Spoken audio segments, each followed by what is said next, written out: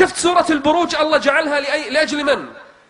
سورة البروج الله عز وجل جعلها لأناس أحرقوا جريمتهم أنهم آمنوا بالله. وما نقموا منهم إلا أن يؤمنوا بالله العزيز الحميد. شفت شلون يضع السلاح على ناس؟ إما أنك تقول ربي بشار أو تقتل؟ هذه مو قصص. اليوم نشوفها بعيننا. اليوم نسمعها بآذاننا. شفتوا الجثث في سوريا يا أخوان؟ لأحياء أحرقوا ما في جرح ما في رصاص ما قتل وهو حي. موجود الأفلام الفيديوهات. أحرق الرجل وهو حي. قتل أصحاب الأخدود. النار ذات الوقود. إذ هم عليها قعود. وهم على ما يفعلون بالمؤمنين شهود. وما نقموا منهم شنو جريمتهم؟ إلا أن يؤمنوا بالله العزيز الحميد. الذي له ملك السماوات والأرض. والله على كل شيء شهيد. إحنا إيش دخلنا بسوريا؟ من لم يهتم بأمر المسلمين فليس منهم. لأن إحنا مسلمين الحمد لله. لأن إحنا عندنا إيمان بالله جل وعلا. لأن إحنا نعرف أن قرآننا واحد وربنا واحد وشريعتنا واحدة. ما تفرقنا حدود ولا سدود ولا جنسيات ولا استعمار فصل بيننا. هذا كله سوف يرمى إن شاء الله في ويجعل في زبالات التاريخ. سترجع الأمة أمة واحدة بوعد النبي صلى الله عليه وسلم. إيش معنى سوريا؟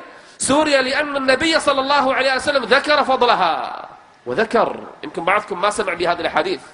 في آخر الزمان يكون جند بالعراق وجند بالشام وجند باليمن. فسئل النبي صلى الله عليه وسلم مع أي جند أكون؟ قال عليك بالشام. عليك بالشام. فالملائكة باسطة أجنحتها. كل هذا بركة لهذه الأرض.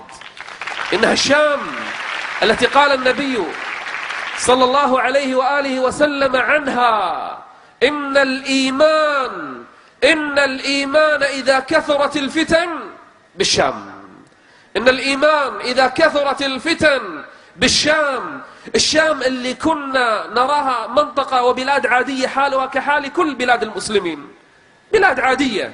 اليوم شوف الثورة التي فيها. يربيهم الله, الله عز وجل لأمر آخر.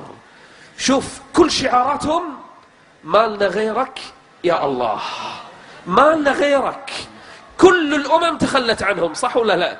كل الشعوب تركتهم. كل ساسة العالم تنكبت لهم وأعطتهم ظهرها. فعلموا أنه لا ناصر لهم إلا الله عز وجل. شعارهم حسبنا الله ونعم الوكيل وسينقلبون بخير يعطيهم الله عز وجل إياه. الله عز وجل يريد خيرا لهذه الأمة. تأخير النصر هذا أنا أرى أنه خير. خير لهذه الأمة ما ندري. ماذا يريد الله عز وجل لهذا الشعب؟ كل قطرة دم تروى بها تلك الأرض المباركة. إنما هي حياة لهذه الأرض. ولا تحسبن الذين قتلوا في سبيل الله أمواتا بل أحياء عند ربهم يرزقون. ليش أنتوا الآن هابين لأجل الشام؟ أقول لكم أمر قلتها أمس بالتلفزيون لأول مرة.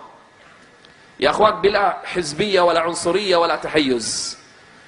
ثورة ليبيا تونس مصر اليمن ثورات مباركة لكنها صفحة وكفة وما يحصل اليوم في سوريا كفة أخرى ومرحلة جديدة في هذه الأمة. نعم. الله إنما حصل إنما حصل في تلك الثورات المباركة مرحلة في الأمة صح. لكن ما يحصل اليوم في سوريا مرحلة أولا هي معركة بقاء بقاء لهذه الأمة إما أن نكون أو لا نكون وبإذن الله سنكون أمة باقية. اثنين ما بعد سوريا وأذكركم بكلمات هذه. سيتغير أمر كثير في هذه الأمة. ما بعد انتصار سوريا وبعد قيام الأمة مرة أخرى في سوريا وعودة الأمة للنصر في سوريا سيتغير أمر كثير خاصة في المنطقة عندنا. سيتغير ميزان القوى وأمم بإذن الله عز وجل شرها سينكسر ومشروع ضخم يريد لهذه الأمة شرا سيزول بإذن الله عز وجل. عشان كذي لما يقولون للناس إيش معنى سوريا ما يفهمون. أن سوريا ستغير تاريخ الأمة بإذن الله جل وعلا.